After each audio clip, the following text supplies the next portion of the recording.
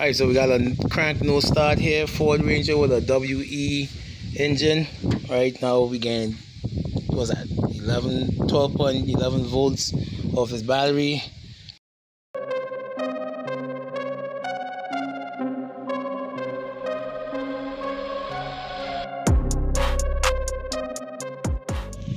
Alright, so we got a crank no start here, Ford Ranger with a WE engine. Right now we getting was at 11 12.11 volts off his battery right? So first thing we're gonna do we're gonna make sure the primer pump primes this up real good. Right customer brought some glow plugs and asked us to change it out. Basically he diagnosed it on his own so that's what we did. We changed the glow plugs. He said he was getting a hard start so we're gonna go and see what else we can do to get this vehicle started up right? So let me just show you how the glow plugs are that's the ones that came out. They ain't looking too bad but he insists that he needs to change out. We did check to see if we can current go into the glow plugs. Right so but he insists to change it out. So let's see if we could diagnose why he's getting this hard start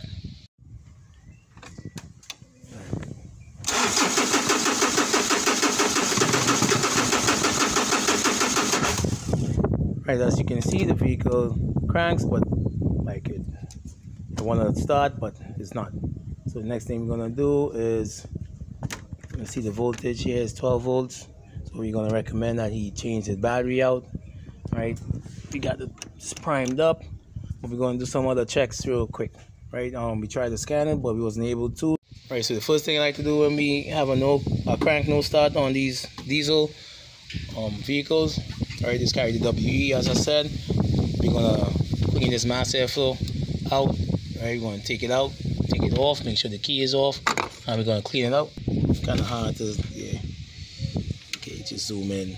Alright, so you see that resistor there sensor, that's the IAT and the one inside is for the that month of the mass, right? And you can't see nothing in there. That means it's really dirty.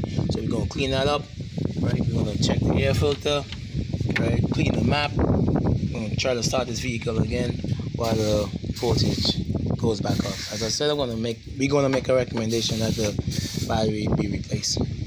Able to clean that sensor off, right? Let's see if we could get some pictures down there. You see in the, resistors down there, right? And we're gonna see how the filter is filter is filthy. Yep. So how they expect the vehicle to breathe. So we're gonna make a recommendation that you change that also. The next thing we're gonna do is clean the map sensor out. Okay, so we're gonna remove this map. Real quick, this also the barometric sensor. Let's see how cruddy that is when he takes it out.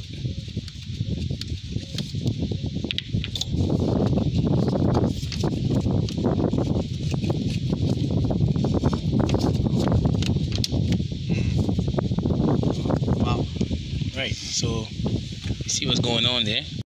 Right so this is the map sensor. As you can see condition map sensor is the sensor broke off because it wasn't in a good condition. And this is the let me see if I get a, a zoom in. Look how all that crap was built up on this resistor. So how it's going to read properly. Right so that's to tell you how much crud in there because what be what holds that sensor is basically a, a small green o-ring. And it came right off. Alright so with the map area cleaned off we're gonna pop this in until we could get another one. Right once the resistor didn't damage you're supposed to be in good shape.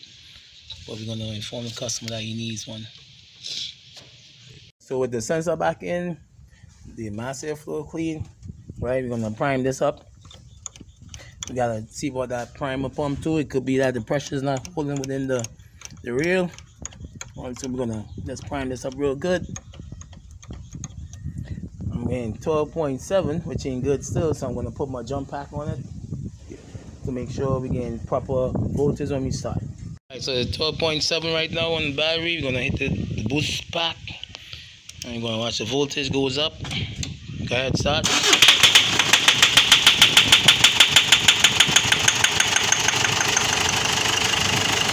Alright, so that is just all the excess fuel that we got that was in the engine that's gonna burn out.